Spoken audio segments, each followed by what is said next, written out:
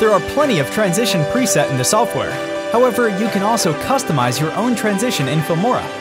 In this video, we will teach you how to create a smooth cut transition effect in Wondershare Filmora. Hey everyone, welcome to Filmora MVP channel. Here, we teach you editing tricks, filmmaking, and camera techniques. Make sure you subscribe to our channel and also hit the notification bell to get the latest updates. So, let's get started. Before we start editing, click the download link in the description box.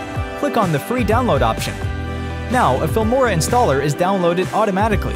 Just double click on it, agree with the terms, and here you go. Filmora started to download and install. Once it's installed, it'll start and run automatically. First, import the footage. Drag both the footage to the timeline. Select both the footage. Copy the layer. Lock the current layer. Paste it above the layer unlock the layer. Then hide the below layer.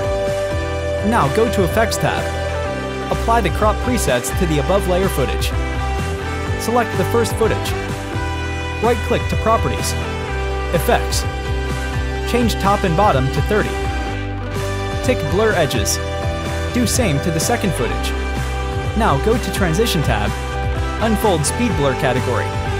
Search Flip in the box. Select First Transition flip roll 3 and place it on the second layer.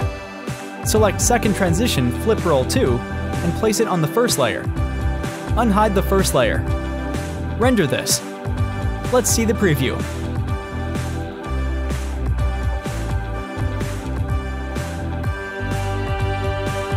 If you want top to bottom transition, just remove both the transitions.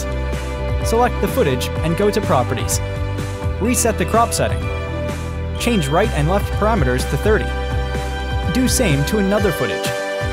Now apply the flip roll 4 transition to the second layer. Apply the flip roll 1 transition to first layer.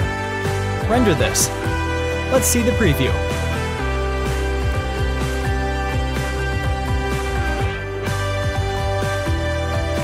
That's it. Thank you for watching.